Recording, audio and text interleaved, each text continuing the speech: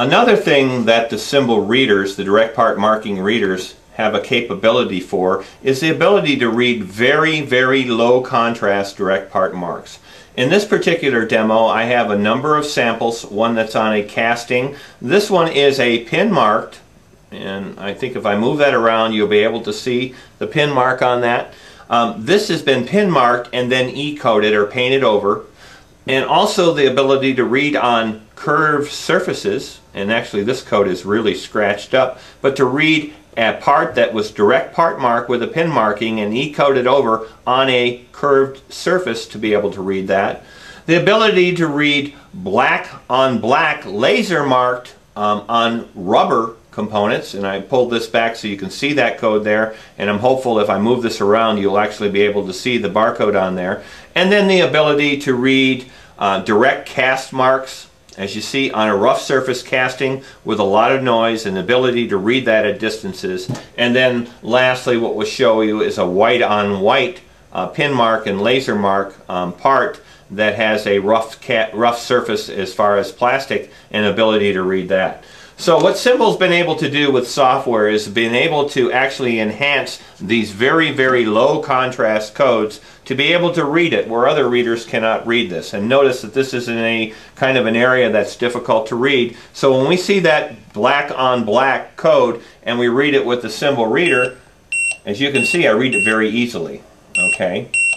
So a black on black part that's pin marked, I'm able to read that very easily.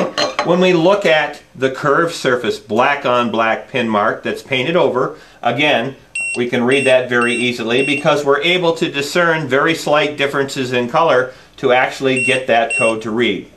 A much harder type of surface to read on is this rubber laser marked application where the data matrix code is laser marked on this soft rubber surface.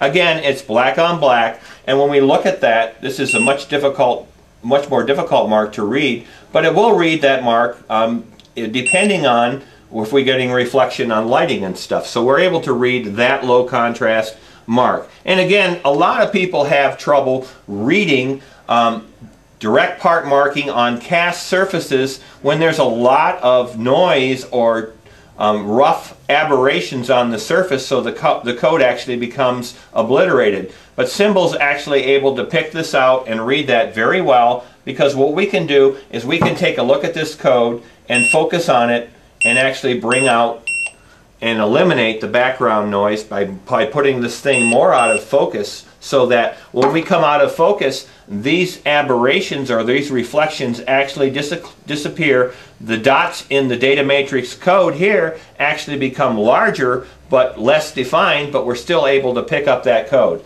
And lastly, looking at um, a surface where it's white and it's marked with a laser or a pin marker to actually see the differences in the decoding of that surface and this is a very difficult mark to read, but it will read.